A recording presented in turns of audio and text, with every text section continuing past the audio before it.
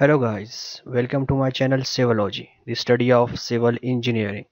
Civil engineering projects are mainly categorized into three main groups. First one is light project, second one is heavy project and then industrial projects. We will discuss these projects one by one and their examples.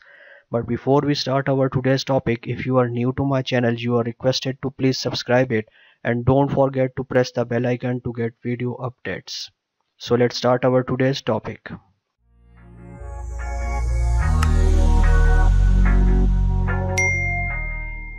First one is light project.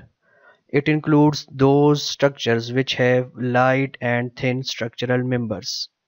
Heavy foundation is not needed for light projects. Light projects do not need heavy machinery. Examples include residential buildings, commercial buildings, urban and rural roads, water supply for small towns and sewerage systems etc. Then there comes heavy project. Heavy projects need heavy machinery. Heavy structural members are needed. Deep and heavy foundation is provided for heavy projects.